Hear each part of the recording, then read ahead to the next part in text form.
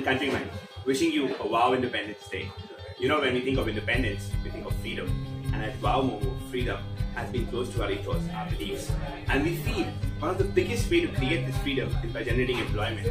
Today we have two and a half thousand people working for us, and we want to take this number to 10,000. That's the goal, that's the aspirational level. Now, out of these 10,000 people that we want to hire, many of them are going to be transgenders. Rather, currently we already have a good set of transgenders working for us.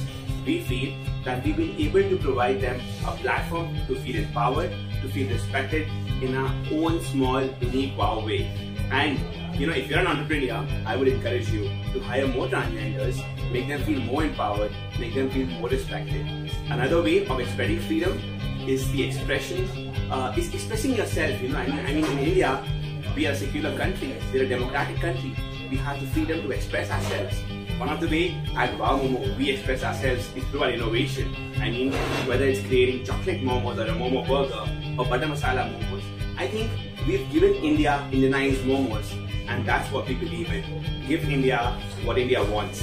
And if you remember, during Independence Day, Republic Day, over the years, we had the tricolor sauce.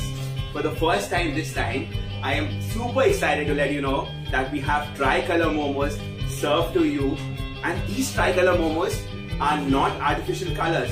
The orange is through carrot and the green is through spinach. So it's all natural. And you know, when you have these momos, you'll see the magic of carrot and spinach that brings on to these momos to make them tricolor momos. It's our way of celebrating Azadi Dil Se. And you know what? Uh, we strongly believe that this innovation has gone a long way to make us a brand because we have the power we have the freedom to innovate, we have the freedom to express ourselves as entrepreneurs. Everyone should express themselves. Thank you so much for loving us, for liking us over the years, and for loving our innovations. It's you people who made us what we are.